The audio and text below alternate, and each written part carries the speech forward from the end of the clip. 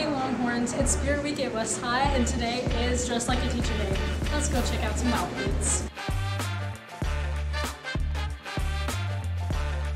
Let's just go.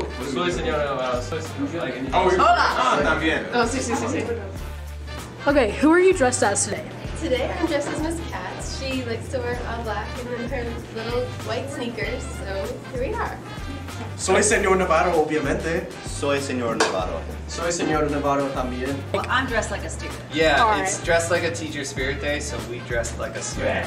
Soy Senor Navarro. Soy señor Navarro. Uh, we dressed as teenagers. Nice. And why did you choose a specific outfit? Well, I would look really dumb with bubble braids. I don't think adult women should wear flutter shorts. And I think this represents my children really well. Soy el señor Navarro real. Soy el señor Navarro. Why did you choose to dress up as Miss Katz? Um, I think she's got a really fun style and I think it, she's an amazing teacher, so it's fun to em- emulate her. Where did you get your outfit from? Okay, so the shoes are from Target, mm-hmm. and the tights are from Hot Topic, but my kid works there, so I had them. The shorts are mom shorts. They're probably from Old Navy. Mm-hmm. Um, this is my husband's flannel. These are my kids' bracelets mm-hmm. and butterfly earrings, and my kid's choker. And I had already dyed my hair purple weirdly for no real reason, like a couple weeks ago, and it just all went together.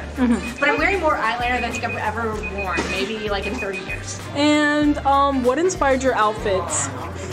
For me, I was inspired by a group of either freshmen or sophomore boys who hang out in the North Gym from like 7:10 to 7:30, hmm. or like the gym lobby. Nothing like that.